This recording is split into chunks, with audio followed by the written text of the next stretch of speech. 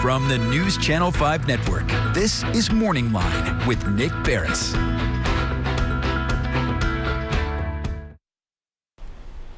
Good morning, everyone. Thanks for joining us on Morning Line. It's Nick Beres with you on a Monday. A very good show on tap this morning. Uh, I think this is something we've all paid attention. You know, we do gavel to gavel trials here, and we cover a lot of legal issues and sentencing for convicts.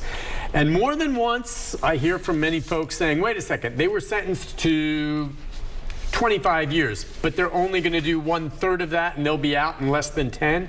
What's the story on that? Uh, what's, you know, and there was a piece of legislation passed, um, not signed by the governor, but passed by the legislature this session, will be taking effect, I assume, starting in July. And it is a truth in sentencing bill, which is for a great many crime convictions, if you're sentenced to six years, you do all that six years, okay? Locking people up for what the sentence comes down out of the trial. Now, on its surface, I think we're all saying, look, if that's what the sentence is, he should or she should have to do it.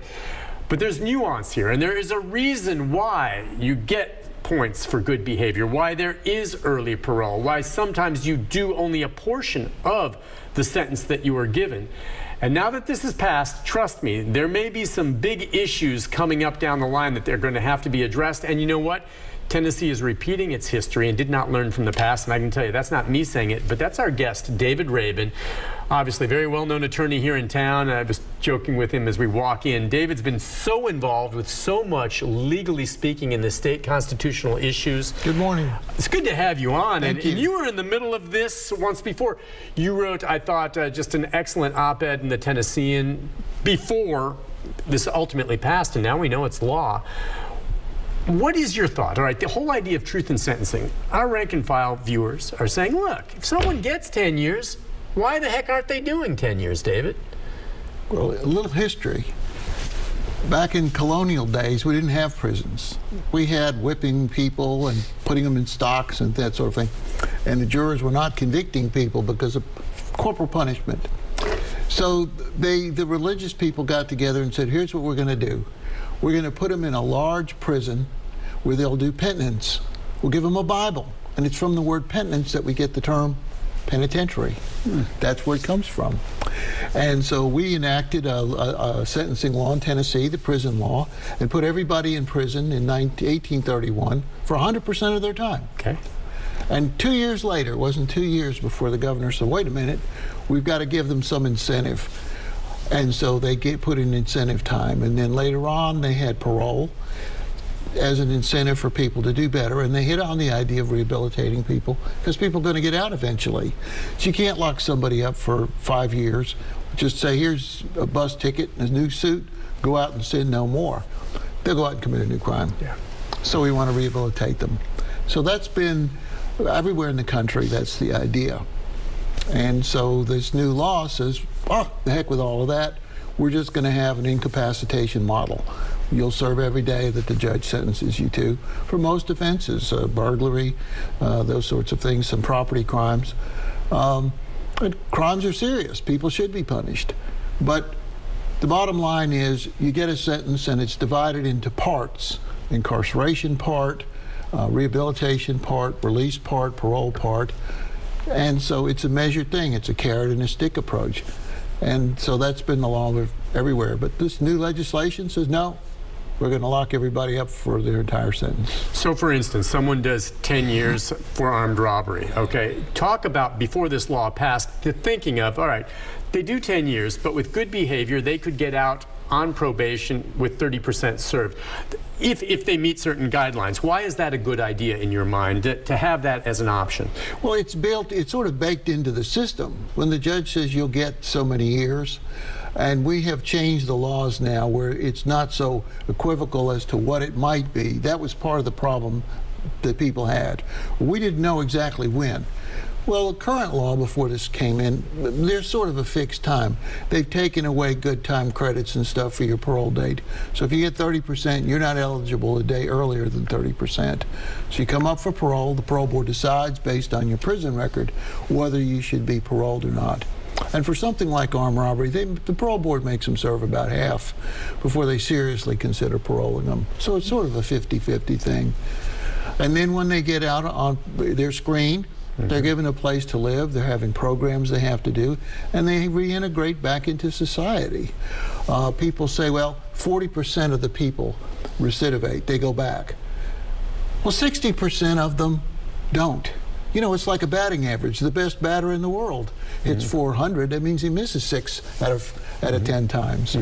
So uh, you, you want to rehabilitate people so that they are successful, so that they don't come back. I mean, what do we call it? It's the Department of Correction. We want to correct people. Uh, it's an ideal thing. Uh, and so as long as you have a fixed parole date where it can't be less, people understand that. This new law does away with all that. And we're going to get back into the history and what you were involved with in the, the, late 70s. But before we get to that, what, if you can, just crystallize for us your concern. What is going to happen now with the new law that was just passed? What do you foresee happening? And then we'll talk about why, based on history, you have proof to back that up. Okay. What will be inevitable? It's not just Tennessee, but everywhere in the country, California, New York, whenever they pass a law like this, uh, within the, the first year, nothing's going to happen because those people will be in prison anyway. But in the second and third and fourth and fifth year, when you hit about five or six years out, the people that should have been released will not be. And you'll just have an expansion, uh, like a balloon, in the prisons. You'll have overcrowding times 10 and you'll either you'll have to build new prisons, which are incredibly expensive. You have to hire guards and that sort of thing. Uh, a lot of people will age out; they'll become geriatric patients. We'll have to give them more health care, that sort of thing, or they're no longer dangerous. Um, and so you'll have a huge prison uh, explosion to where the cost could be well over $200 million. Um, do lawmakers not realize this? They do. Why are they doing it? because it's not going to have any immediate impact. The people are going to be there anyway. And so, does it sound good to say they're hard on crime? It sounds good to say they're hard on crime. It, it, a, it, this is an election year. They can say this is their hard on crime. A lot of people support this when you look at it in a simplistic way. Um, and they say enough. But the, the, the sentences are already astronomical uh, which I can get to when you get to the history of this thing. Let's talk then the history. Uh, this is history repeating itself. In fact, the circumstances may be worse now because it's very difficult to hire correctional officers. Prisons are overcrowded as it is to begin with. In 1979, um, you were called in, uh, Governor Lamar Alexander, um, and lawmakers looking at this very same type of thing. It was. And Lamar Alexander and others were saying, look, enough is enough. Exactly the same verbiage we have today. Bill Koch, who is now the Dean of Nashville School of Law, he's former Supreme Court Justice. I was in the Attorney General's office. I had drafted Tennessee's death penalty. I mean, that's how conservative I am and was. And said, you guys are going to draft a law we came up with a law that's almost exactly like this. Fixed parole, no credits, that sort of thing. It was called the Class X Felony Law of 1979. We even had stickers put up with a little with a little guy with a gun on it and an X on top of him. And we put it in all the 7-Elevens so on the market so people say class X protects. It was great. We closed the work release centers hard on crime.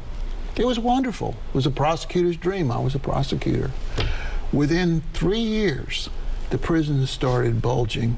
And then finally, with six years later, we had riots all over the state. We had four prisons in a riot status at one time. Why? Because it was so crowded. They, they, did not build prisons. It takes, you know, to, when you're dealing with prisons, it's like uh, building an airplane while you're flying in one to Atlanta, for example. It is very expensive. You have to have a lot of security, that sort of thing. Uh, at expense, you have to buy the land and hire the people and train them. So it's not something you can do overnight.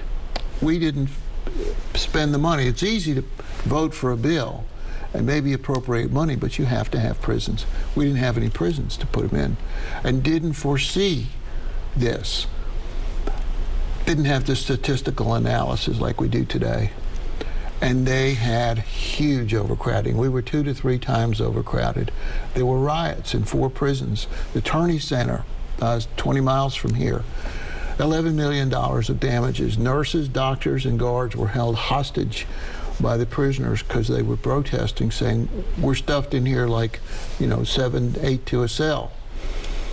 Uh, and the National Guard had to come in, the police had to come in, and finally, um, for, one of them was a smoking ruin. The governor called the legislature into emergency session.